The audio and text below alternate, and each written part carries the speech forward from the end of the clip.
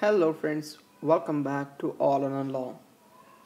This is a medical video lecture microbiology.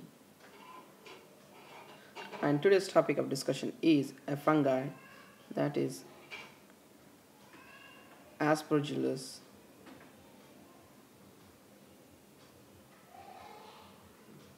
Aspergillus fumigatus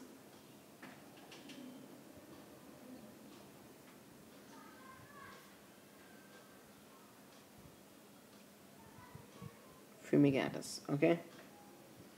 So before starting a discussion on this i would request you to subscribe to our channel and please do share our videos with your friends. So let's start a discussion on this aspergillus fumigatus. And this is for usmle guys. So that's why i'm to talk only important points. That's it. So i'm not to talk in detail. That is a really very best for usmle so just important points for your usmle step on examination so Aspergillus fumigatus for USMLE, try to remember if a patient with what you call asthma, patient with asthma or a patient with immunocompromised presents with the signs and symptoms of pneumonia, uh, then think of for Aspergillus fumigatus as one of the option, okay? Uh, and you need to look for other what you call characteristics or other clinical features to different to diagnose the Aspergillus fumigatus correctly. So let's talk about this aspergillus fumigatus. The, the, the features of this is is a monomorphic filamentous fungi. Monomorphic.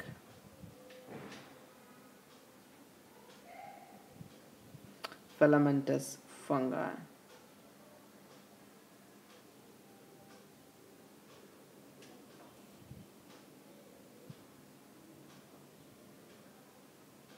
Okay or filamentous fungus. So let's let me draw here two two two what do you call them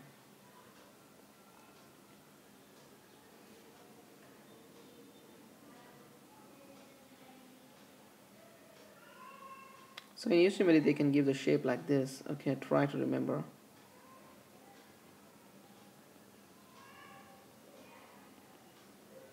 It's a kind of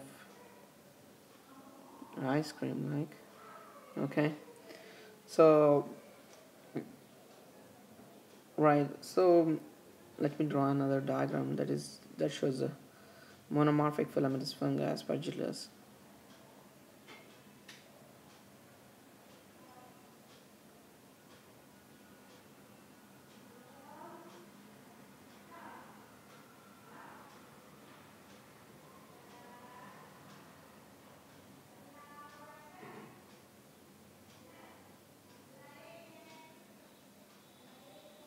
okay. So this is what the shape of uh, aspergillus fumigatus looks like. So it's a dicom uh, dichotomously branching. It's dichotomously dichotomously. Means they are branching into two that's it. Remember like that dichotomously branching. Okay? And they're generally at acute angle. Or here you can see here's acute angle right so it's a branching at the acute angles remember the, and they have the frequent uh, what do you call a septate hyphae. Septate hyphae. Hyphae okay? So these are the important features for this.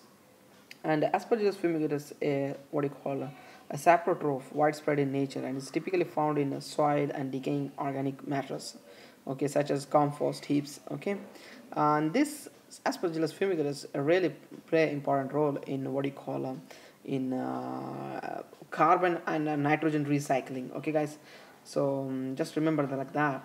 And the other important feature of this the colonies of the fungus produce from conidiophores conidiophores thousands of minute gray green conidia okay? That really become airborne. That's why if a patient is asthmatic then they they are effect uh, what infected with this and if they are what you call um, if they are immunocompromised then they are infected with this. And the patients with the burns can be infected with this okay? So there are a lot many things and uh, this bacteria is really very dangerous okay guys? So let's talk about the condition diseases that it can cause. As we know that this is cause acute allergic bronchopulmonary aspergillosis.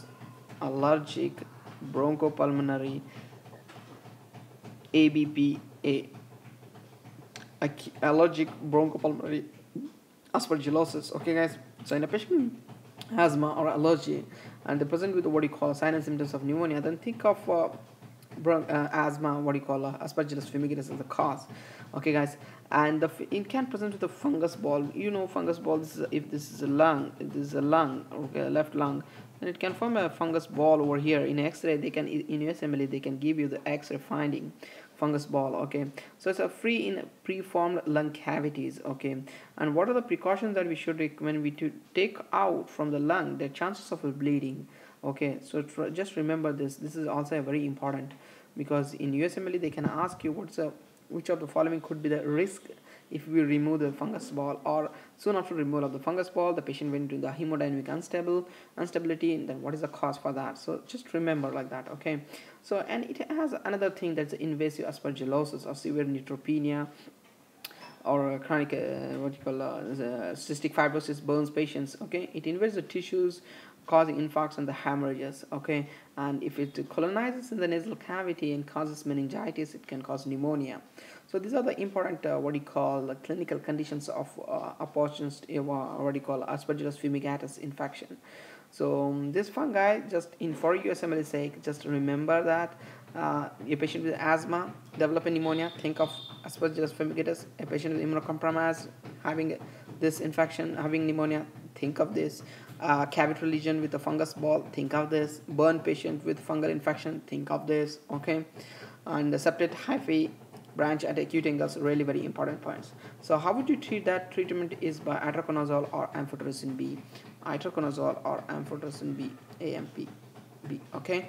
So thank you so much for watching this video guys. Take care